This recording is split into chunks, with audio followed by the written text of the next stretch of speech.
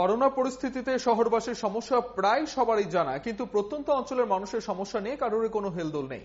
উত্তর জেলার দামছড়ার মানুষ বলছেন লকডাউনের সময় থেকেও তাদের লড়াই করে চলতে হচ্ছে। খাবার নেই, কাজকর্ম নেই, না আছে টাকা পয়সা সরকারি সুযোগ সুবিধাও তেমন একটা কপালে জুটেনি।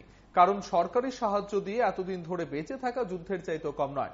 ওই এলাকার এডিসির প্রাক্তন কার্যনির্বাহী সদস্য রাজেন্দ্র রিয়াং যখন স্থানীয় সমস্যা সম্পর্কে জানতে গিয়েছিলেন, অসহায় মানুষ কথা বলতে গিয়ে কান্না আটকে রাখতে পারেনি। তারাও জানতে চায়, সরকার তাদের পাশে দাঁড়াবে কিনা।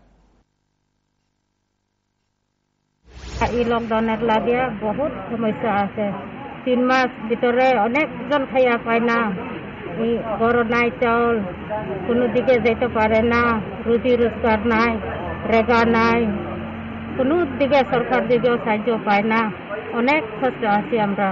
এটার লাগে আজকে পার্টির তরফ থাকিয়াও সিপিআইএম তরফ থাকিয়া আজকে আইসে চাউল সুরা সাহায্য দিবার লাগে আইসে বিগত দুই হাজার আঠারো ইং থেকে আইপিএফটি বিজেপি সরকার গঠন হওয়ার পর, তখন তার বয়স সতেরো মাস চলে গেছে। কখনো সতেরো দিনও রেগা কাজ দেয়নি।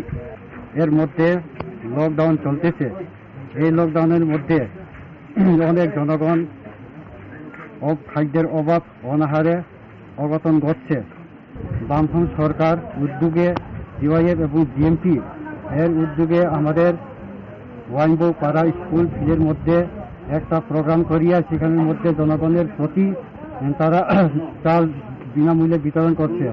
সেটা চাল পেয়ে আমরা এলাকার জনগণ, বামফ্রন্ট সরকার উপর আমরা সর্বসম্মতিক্রমে আমরা জনগণ